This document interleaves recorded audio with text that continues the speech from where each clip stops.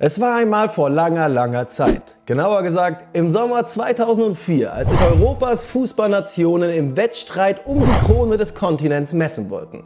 Und alle waren UEFA-Präsident Johanssons Ruf nach Portugal gefolgt, wo dieses Turnier stattfinden sollte. Italien schickte die goldene Generation der Squadra Azzurra um Andrea Pirlo, Francesco Totti und Alessandro Del Piero. Die Three Lions aus dem Vereinigten Königreich mit einem 19-jährigen Monster namens Wayne Rooney und Legenden wie Gerrard, Lampard oder Beckham. Die Niederlande schickte von Nistelrooy, Robben, Snyder und Edgar Davids, um endlich den ersehnten zweiten EM-Titel nach Hause zu bringen. Die gefallenen Dominatoren aus Frankreich brachten ihre legendäre Truppe um Zidane, Henri, Trezeguet und Lilian Thuram zusammen, um die Charter der WM 2002 auszusetzen. Mit dem amtierenden Vize-Weltmeister Deutschland um Kahn, Klose und Ballack ist eh immer zu rechnen und auch die Gastgeber aus Portugal rechnen sich mit Figo, Rui Costa, Deco und einem jungen Mann namens Cristiano Ronaldo einiges für dieses Turnier aus. Vielleicht war es von den Namen her die bestbesetzte Europameisterschaft aller Zeiten. Welche dieser Nationen sollte den begehrten Titel erringen? Und wer von den eben genannten würde der große Held sein, der den Pokal am 4. Juli in den Nachthimmel recken dürfte? Tja, der Sommer 2004 verlief anders, als es sich alle Fußballfans in Europa vorgestellt hatten. Und die Helden hießen nicht Pirlo oder Van Nistelrooy. Sie hießen Bassinas, Katsuranis, Charisteas oder Nikopolidis oder Otto Rehagel. Und damit herzlich willkommen zum One Football Goats Griechenland 2004, als Otto Rehagel Europa schockte. In den 90er Jahren ist der griechische Fußball international zwar so erfolgreich wie nie, aber zeitgleich sind sie ehrlich gesagt einfach nur da. Denn irgendwas gewinnen konnten die Griechen nicht und sie waren auch immer kilometerweit entfernt. 1994 ist es ein Riesenerfolg, dass man sich zum ersten Mal für eine Weltmeisterschaft qualifiziert, in diesem Fall der WM in den USA. Doch Tja, in der Gruppenphase werden die Griechen gedemütigt. 0 zu 4, 0 zu 4, 0 zu 2, 0 zu 10 Torverhältnis und nach der Vorrunde geht es zurück nach Europa. Die WM 98 verpasst man, genauso die EM 96 und als man auch für die EM 2000 und die WM 2002 die Qualifikation verpasst, ist klar, irgendwas muss hier geändert werden. Und dieser Neuanfang im August 2001 soll ausgerechnet mit einem Mann gelingen, der auf der Fußballbühne eigentlich nicht mehr stattfand. Der Mann war verschwunden. Man dachte, seine Karriere wäre vorbei. Wir reden von Otto Rehagel, einem der erfolgreichsten deutschen Trainer aller Zeiten, der auf Vereinsebene mit Düsseldorf, Bremen, dem FC Bayern und dem FC Kaiserslautern alles gewonnen hat, was es gibt, zumindest mal auf deutscher Ebene.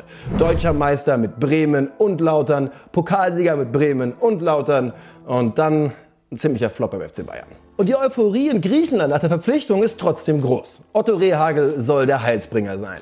Zumindest bis zum Anpfiff des ersten Spiels. Freundschaftsspiel in Helsinki gegen Finnland 1 zu 5. Und vermutlich hat sich Otto Rehagel noch auf der Bank bei diesem Spiel entschieden, allklar, hier muss ein Umbruch her. Und es spielt ihm in die Karten, dass man die Qualifikation zur WM 2002 schon vergeigt hat.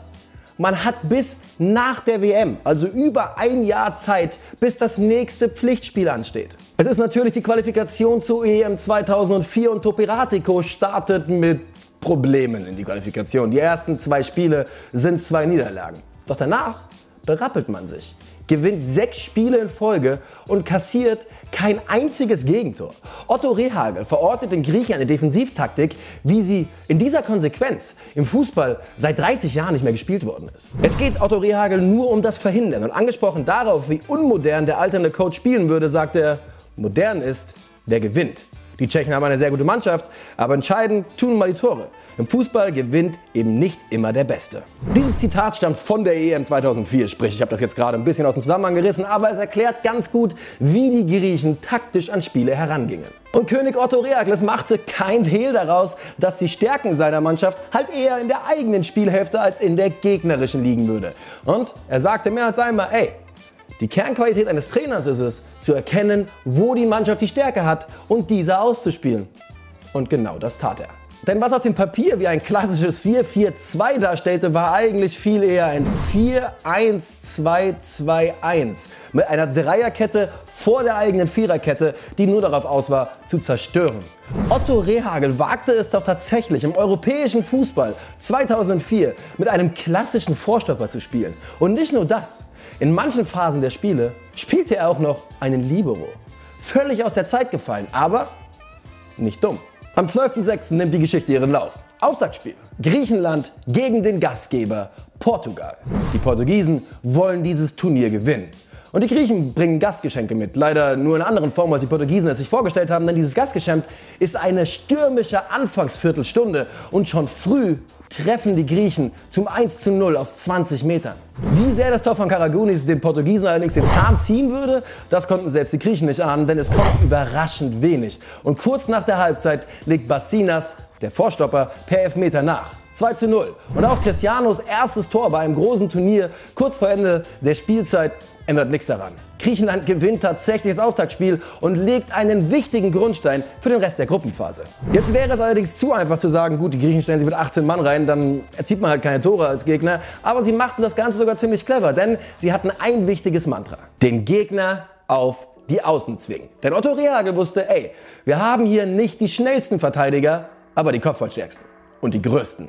Und gemeinsam mit der Dreierkette vor der eigenen Viererkette schafften sie es, dass A hinten so zugemauert ist, aber auch, dass die Flügelspieler der Portugiesen immer mit mindestens zwei Gegenspieler zu kämpfen hatten, während Bassinas in die Viererkette zurückfiel, neben Deas, der übrigens 1,97 Meter groß war, und jede Flanke, die die Portugiesen verzweifelt in den 16er zimmerten, einfach rausschädelten.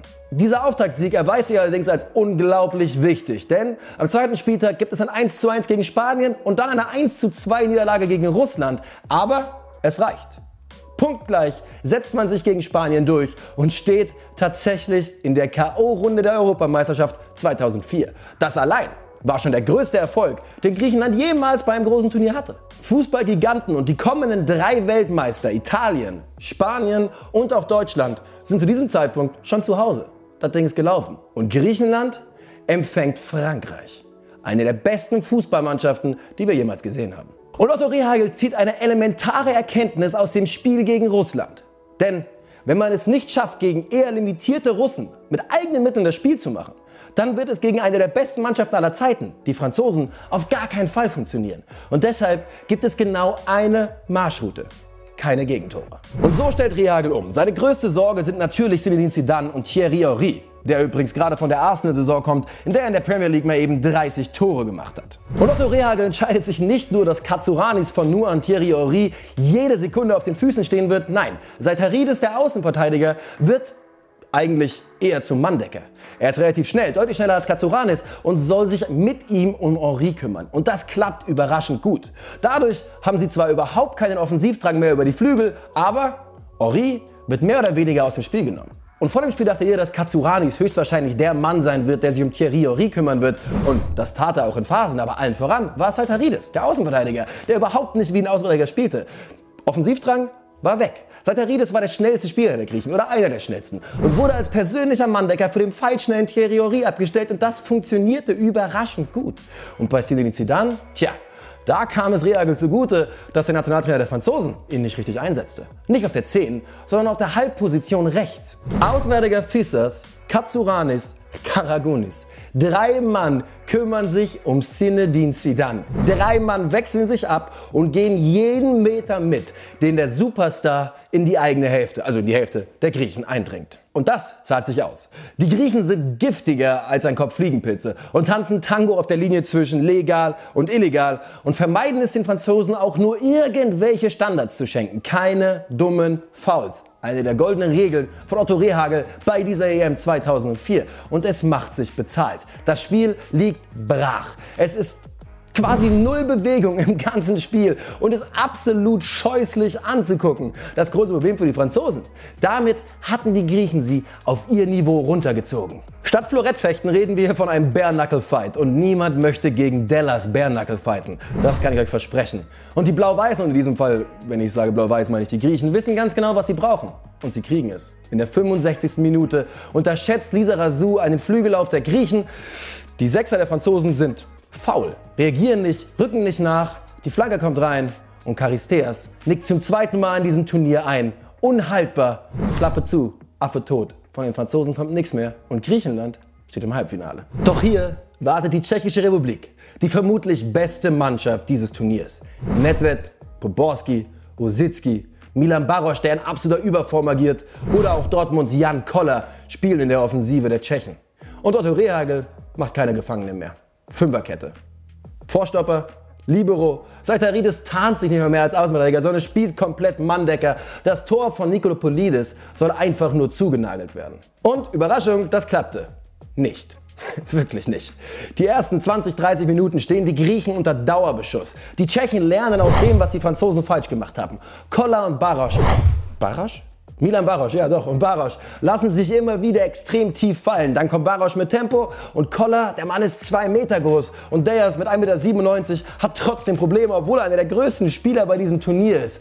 Die Griechen sind drauf und dran, ein Gegentor zu kassieren, aber Nikopolidis im Tor hält alles. Und Bassinas, der Vorstopper macht Meter und stopft Löcher, wie man es kaum von einem Spieler zuvor gesehen hat. Eine unglaubliche Leistung der griechischen Pferdelunge. Und vermutlich hätten die Tschechen das ganze Ding sogar nach Hause fahren können, doch es kommt natürlich, wie es kommen muss. Und Pavel Nedved verletzt sich nach 30 Minuten und muss zur Halbzeit drinnen bleiben. In der zweiten Halbzeit erspielen sich die Griechen tatsächlich einige Chancen und sie schaffen es, sich etwas zu entlasten und diesen Dauerdruck der Tschechen abzuwehren, doch kein Tor fällt. 0 zu 0. Es geht in die Verlängerung.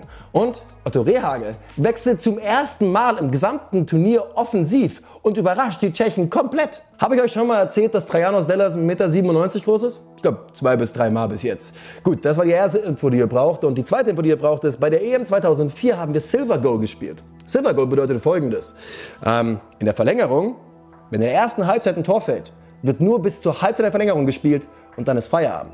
105. Minute, kurz vor Halbzeit, Griechenland Eckball, Dellas rückt auf, 1-0, 30 Sekunden später pfeift Pierluigi Collina ab. Griechenland steht im Finale. Die beste Mannschaft des Turniers ist raus. Portugal, Frankreich, Tschechien, Griechenland schlägt auf dem Weg ins Finale alle. Und wer war sie jetzt in diesem Finale?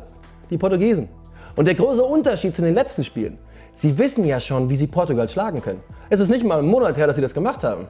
Und auch wenn die Portugiesen auf fünf Positionen umstellen und unter anderem Deco und Cristiano Ronaldo diesmal von Anfang an ranlassen, die Griechen wissen, was sie tun müssen und überstehen die erste Halbzeit relativ unversehrt. 0 zu 0 zur Pause. Und dann drehen sie auf. Manisch und Co. kommen im Mittelfeld der Portugiesen mit dem griechischen Pressing überhaupt nicht zurecht und immer und immer wieder haben die Griechen Standardsituationen, wenn wir eines gelernt haben. Danach sind sie in diesem Turnier ziemlich, ziemlich gefährlich und es kommt, wie es kommen muss. Eckball Bassinas, Ricardo segelt vorbei und Caristeas, ja, Angelos Caristeas, Clubfans und ich glaube sogar Schalke-Fans auch und natürlich Bremen-Fans werden sich an ihn erinnern. Nickt ein, schon wieder. 57. Minute, 1-0 Griechenland im EM-Finale. Die Portugiesen sind nicht bereit. Sie sind nicht bereit, dieses Ding in der eigenen Küche, im eigenen Wohnzimmer so einfach herzuschenken. Wütende Angriffe über Deco, Cristiano Ronaldo und natürlich auch Luis Figo scheitern immer und immer wieder Nikopolidis. Sie kriegen das Ding einfach nicht über die Linie. Nikopolidis wird mehr und mehr zum Fels in der Brandung und weil ein Flitzer aufs Feld gelaufen ist, werden fünf Minuten nachgespielt. Und nach 95 Minuten ist Schluss. Griechenland hat gewonnen. 1 zu 0. Portugal versinkt in Tränen. Griechenland im Freudentaumel und Fußball-Europa reibt sich ungläubig die Augen. Otto Rehagel und sein Team haben es tatsächlich geschafft. Sie haben Europas Fußballelite düpiert. Kein Pirlo, kein Van Nistelrooy, kein Kahn, kein Ballack. Die Helden heißen Charisteas, Bassinas, Nikopolidis oder auch Deas. Kein Mensch hätte das vor diesem Turnier erwartet. Es ist der 4. Juli 2004 und Griechenland ist der sensationellste Europameister in der Fußballgeschichte. Und das war's vom Goats Griechenland, Freunde. Ich hoffe, es hat euch gefallen hier aus meinem Heimstudio. Ähm, gerne in die Kommentare, welche Goats ihr noch sehen wollt. Ich habe noch ein paar auf Lager. Ihr habt mir schon sehr viel Input gegeben. Das war's für heute, Freunde. Genießt diesen wunderbaren Sonntag oder wann auch immer ihr schaut noch und äh, macht's gut.